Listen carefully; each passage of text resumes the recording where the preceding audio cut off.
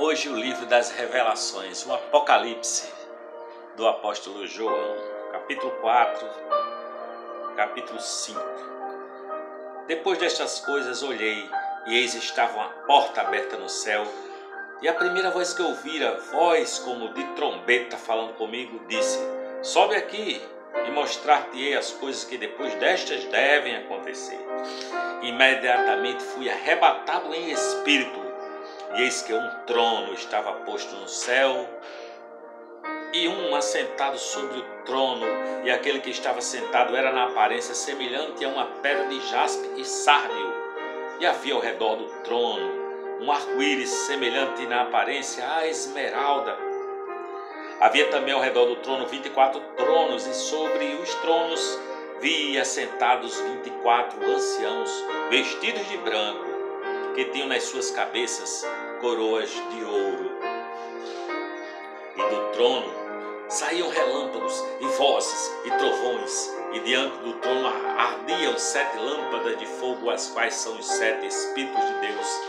Também havia diante do trono como que um mar de vidro, semelhante ao cristal, e ao redor do trono, um ao meio de cada lado, quatro seres viventes cheios de olhos, por diante e por detrás. E o primeiro ser era semelhante a um leão, o segundo ser semelhante a um touro.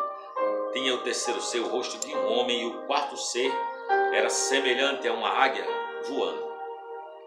Os quatro seres viventes tinham cada um seis asas, e ao redor, por dentro, estavam cheios de olhos, e não têm descanso nem de dia nem de noite, dizendo: Santo, Santo, Santo é o Senhor Deus, o Todo-Poderoso, aquele que era e que é e que há de vir.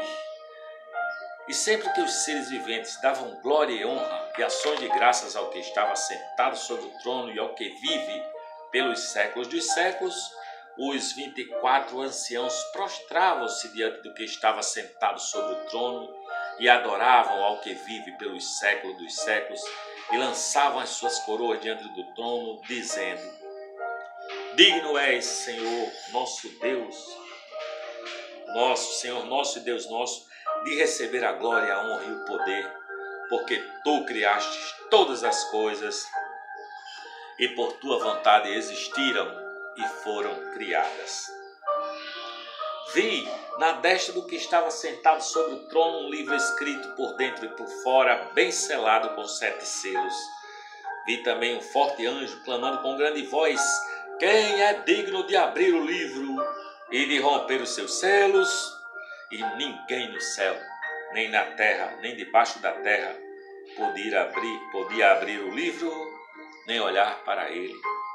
E eu chorava muito, porque não for achado ninguém digno de abrir o livro, nem de olhar para ele. E disse-me um dentre os anciãos: Não chores, eis que o leão da tribo de Judá, a raiz de Davi, venceu para abrir o livro e romper os seus selos. Nisto, vi entre o trono e os quatro seres viventes no meio dos anciões um cordeiro em pé, como havendo sido morto, e tinha sete chifres e sete olhos, que são os sete Espíritos de Deus enviados por toda a terra. E veio e tomou o livro da destra do que estava sentado sobre o trono. Logo que tomou o livro, os quatro seres viventes e os vinte e quatro anciões prostraram-se diante do cordeiro, tendo cada um deles uma harpa e taças de ouro cheias de incenso, que são as orações dos santos. E cantavam um cântico novo, dizendo: Digno és de tomar o livro e de abrir os seus selos, porque foste morto e com teu sangue comprastes para Deus homens de toda libro, li, tribo e língua, e povo e nação, e para o nosso Deus os fizeste reino e sacerdotes, e eles reinarão sobre a terra. E olhei e ouvi a voz de muitos anjos ao redor do trono e dos seres viventes e dos anciãos, e o número dele era miríades de miríades e milhares de milhares que com grande voz diziam: Digno é o cordeiro que foi morto, de receber o poder, a riqueza, sabedoria e força, e honra e glória e louvor. Ouvi também a toda criatura que estava no céu e na terra e debaixo da terra e no mar, e a todas as coisas que neles, neles há dizerem: Ao que está assentado sobre o trono e ao cordeiro, seja o louvor e a honra e a glória e o domínio pelos séculos dos séculos. E os quatro seres viventes diziam: Amém. E os anciãos prostraram-se e adoraram.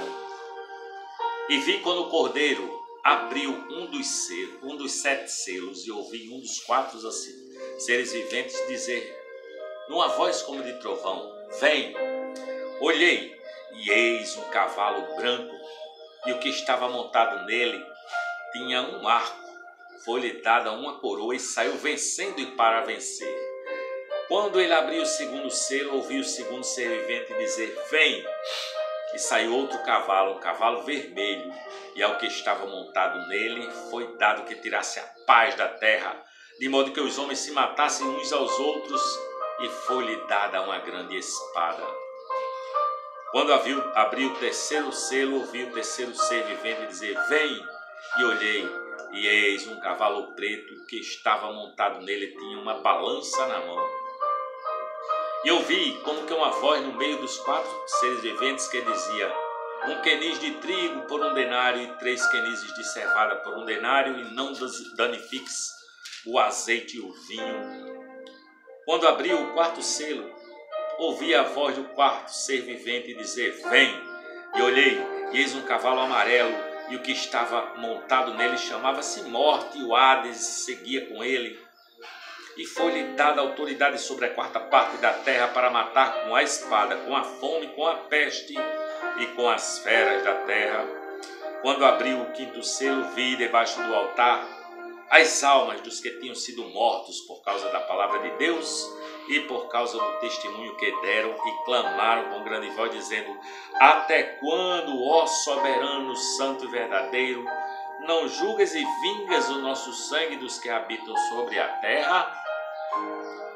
E foram dadas a cada um deles compridas vestes brancas, e foi-lhe dito que repousasse ainda por um pouco de tempo, até que se completasse o número dos seus conservos e de seus irmãos que haviam de ser mortos, como também eles o foram. E quando abriu o sexto selo, e vi quando abriu o sexto selo, e houve um grande terremoto, e o sol tornou-se negro como saco de silício, e a lua toda tornou-se como sangue, e as estrelas do céu caíram sobre a terra como quando a figueira, sacudida por um vento forte, deixa cair os seus figos verdes e o céu recolheu-se como um livro que se enrola, e todos os montes e ilhas foram removidos de seus lugares. E os reis da terra, e os grandes, e os chefes militares, e os ricos, e os poderosos, e todo escravo e todo livre, se esconderam nas cavernas e nas rochas das montanhas, e diziam aos montes e aos rochedos: caí sobre nós e escondei-nos da face daquele que está sentado sobre o trono e da ira do Cordeiro, porque é vindo o grande dia da ira deles. E quem poderá subsistir? Quem poderá subsistir? Essa é a palavra de Deus para mim e para você hoje. Digno é o Cordeiro de receber honra, glória, força e louvor, hoje para todo sempre, porque criou todas as coisas, encarnou-se no homem, morreu numa cruz para pagar o meu pecado seu, ressuscitou ao terceiro dia e subiu aos céus, está sentado à destra do Todo-Poderoso, pronto para nos salvar, para nos resgatar da morte eterna. Beijo para você. Fique na paz de Deus.